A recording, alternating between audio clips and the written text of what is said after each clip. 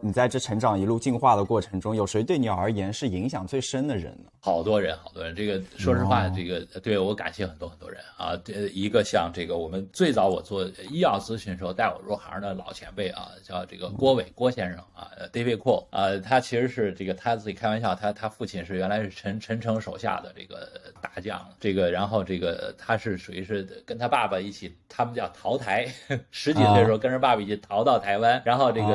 高中。没毕业跑到美国去上学那么个人，然后后来又啊回到大陆，呃帮着这个法国的最早一个企业在中国建了中国的第一个合资药厂啊，这是他建起来的，所以是医药界的老前辈。然后他找到我们呢，当然因为当时我们在做咨询，他找到我们，包括我们开国际会议嘛，他就意识到就找到我们。对。然后我印象特别深，就是他一开始问我说：“你知道为什么我要想跟你合作？”因为他主动跟我合作，我觉得受宠若惊啊，人家老前辈那地位，对吧？对对对对，为什么为为什么跟我合作？然后我们就猜了，我们说是不是我们还够勤奋啊？是不是我们还还算还算不傻呀？对吧？有点聪明。然后后来人老先生说都不是，因为你们年轻，就是说这十年之后，对吧？这个你的竞争对手都要退休了，你还正当年。啊，那是哎，所以所以就是说我后来就体会啊，就确实很多事儿呢就要趁早。早入行，对吧？抓住最早的机会。你看人比尔盖茨为什么起来的？因为软件企业产业刚起来的时候，比尔盖茨就进去了，对不对？所以年轻不怕，年轻很多时候呢，在一个新兴领域不是劣势是优势，对吧？因为是新兴领域，我熬年头，等到十年之后你都退休了，我正当年，对吧？所以当时我们也是有点小机遇呢，就是医药咨询啊，当时是个新兴领域啊，我们是最年轻的。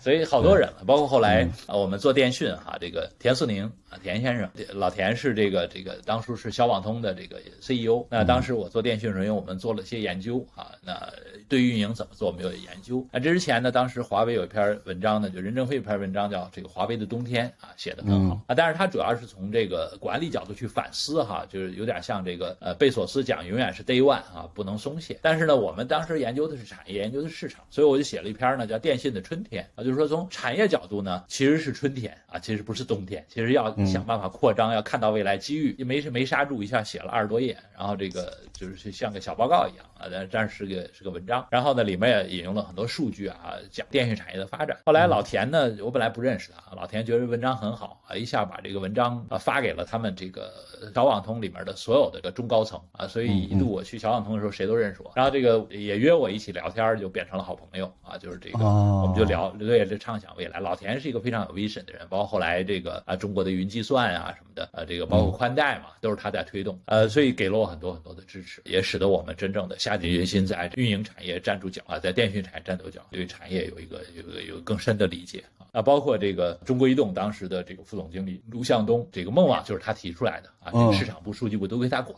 啊，我们也是合作的蛮蛮默契的哈，这个很多的这个配合，当然包括在做这个投资以后哈，这个做天使的时候。这个我们这拉了一帮朋友一起来做哈，当时呃这个红杉还在我们这里投了一点呢啊，当时这个 红杉令对红杉令，其实红杉是中国是史南鹏和张帆一起创立的，后来张帆走了，但当时张帆跟我关系很好，所以这张张帆那你觉得你们这思路不错，我稍微 筹一点点，包括像后来的这个就一起做的像公寓，他们都是嗯就跟我们一起做点天使投资一起玩的，然后这个对到后来做风险投资的时候，就是这个薛蛮子老薛当时正在这个微博上正热的时候。啊，这个我们这个这也是在微博上认识的，我之前不认识他，但是大家一聊，他觉得，哎，你这产业理解不错啊，就方向也不错，是吧？这个我们就说我们正好在做 VC。其实这之前呢，这个薛蛮子做了好多年的天使啊，一直不肯做风险投资，一直就做天使啊。但是呢，这个不知道为什么就跟我们就看对眼了，就觉得哎这帮人不错啊，就就就做了一个风险投资基金。所以我们进风险投资，从我们是原来做咨询嘛，啊，从咨询进到天使投资是个个人行为，拉了一帮朋友就做了。那天使投资做到风险投资，就是要变成。机构啊，那个呢就要有一定的实力，那其实是老薛这个帮了很大的忙啊。然后这个